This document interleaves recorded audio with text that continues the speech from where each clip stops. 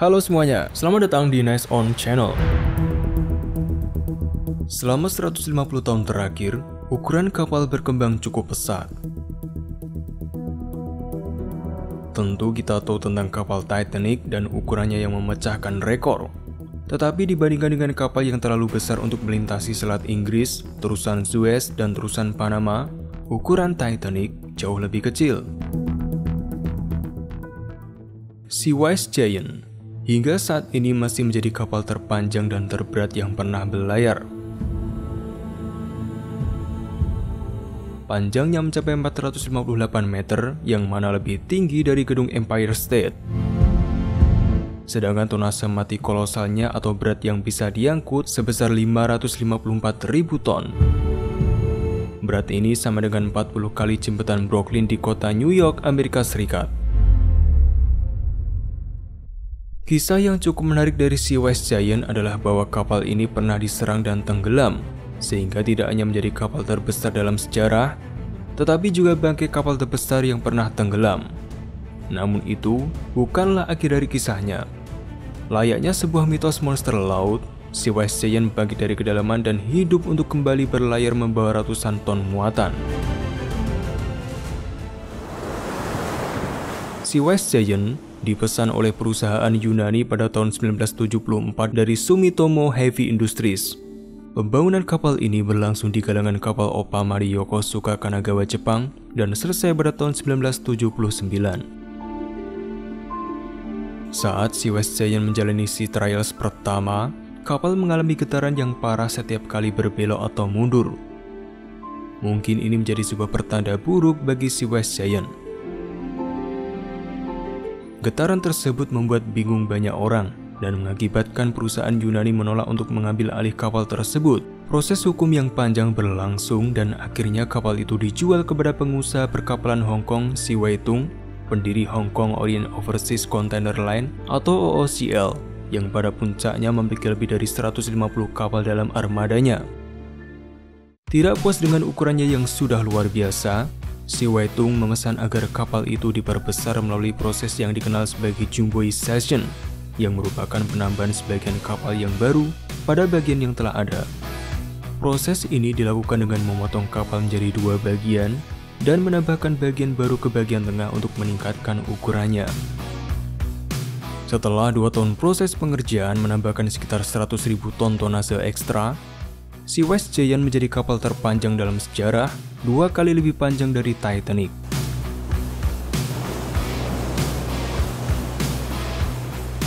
Kapal ini menjadi kapal tanker minyak dengan proporsi yang sangat besar, dengan 46 tangki minyak di atas kapal dan dek seluas 31.451 meter persegi. Sebagai perbandingan, ini hampir sama dengan ukuran kolam refleksi di Lincoln Memorial di Washington DC. Pembatas kapalnya atau draft, yaitu jarak antara garis air dengan dasar kapal, mencapai 24,6 meter.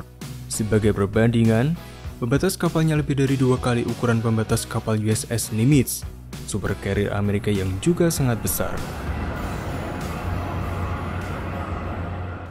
Semua bagian dari kapal ini berukuran besar, seperti halnya kemudi yang berbobot 230 ton atau kira-kira sama dengan bobot dua ikan paus biru. Sementara baling-baling kapalnya sendiri berbobot 50 ton dan memiliki diameter sebesar 9,1 meter. Berat displacement, yaitu berapa banyak air yang digantikan kapal saat berada di laut, adalah 646.642 ton atau lebih dari enam kali lipat displacement dari USS Nimitz. Kapal ini didukung oleh dua boiler Mitsubishi V2M8 yang menghasilkan total 50.000 tenaga kuda dan dapat mencapai kecepatan maksimum 16,5 knot atau sekitar 30 km per jam. Kapal ini mungkin bukan kapal tercepat, tetapi ia membutuhkan waktu yang lama untuk berhenti. Ketika si West berjalan dengan kecepatan penuh, dibutuhkan sekitar 9 km untuk dapat berhenti sepenuhnya, sedangkan putaran penuh dalam cuaca cerah memerlukan jarak sejauh 3 km. Si West Giant menghabiskan awal masa mudanya dengan mengangkut minyak terutama antara Timur Tengah dengan Amerika Serikat. Secara umum, tujuh tahun tersebut cukup tenang. Namun pada akhirnya berakhir tragis pada tanggal 14 Mei 1988. Pada bulan Mei 1988, Perang Iran-Irak memasuki tahun ke-8 di mana awalnya dimulai dengan invasi Iran ke Irak pada tanggal 20 September 1980, lalu berkembang menjadi sebuah kebuntuan berdarah yang menelan korban jiwa lebih dari satu juta tentara dan 100 ribu warga sipil.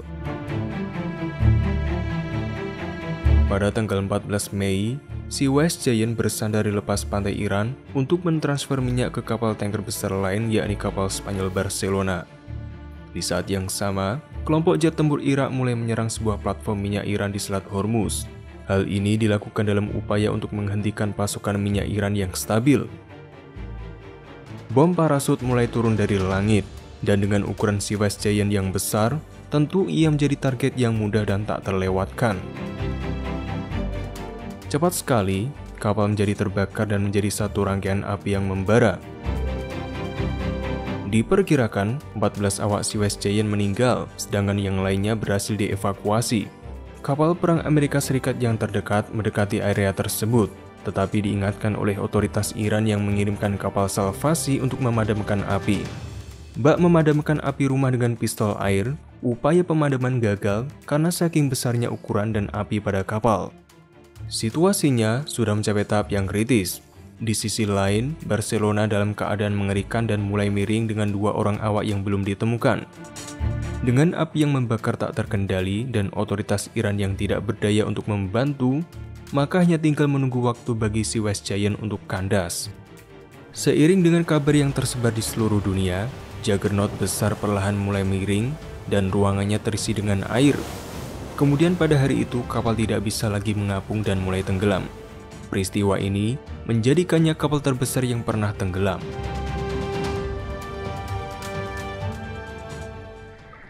Hampir setahun pasca tenggelamnya, bangkai si West Giant dibeli oleh perusahaan Norwegia bernama Norman International yang kemudian segera memulai operasi penyelamatan terbesar dalam sejarah.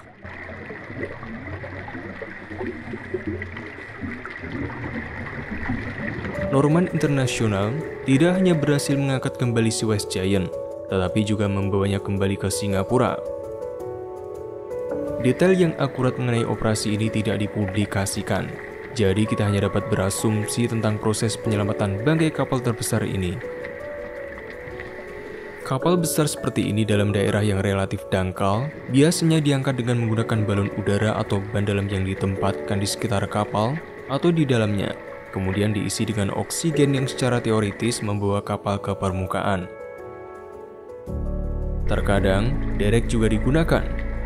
Tetapi dengan ukuran Sea West Giant, hal ini tidak mungkin dilakukan karena mungkin kapal mengalami kerusakan struktural yang signifikan sehingga tidak dapat ditarik. Di Singapura, kapal itu mengalami perbaikan yang signifikan dan muncul kembali pada tahun 1991 dengan nama baru Happy Giant. Pada tahun yang sama, Kapal itu dibeli oleh pemilik kapal Norwegia Jorgen Jaha seharga 39 juta dolar atau sekitar 74,5 juta dolar saat ini atau sekitar 1,14 triliun rupiah dan dinamai kembali menjadi Jahre Viking. Kapal apung yang sangat besar ini berhasil melewati batas dan sekali lagi mulai mengangkut kargo ke seluruh dunia, tetapi di bawah bendera Norwegia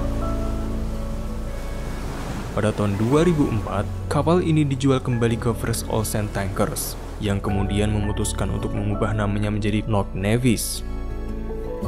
Namun, kapal ini tidak lagi digunakan untuk pelayaran laut karena biaya operasi yang besar membuat kapal ini sering kali beroperasi dengan kerugian.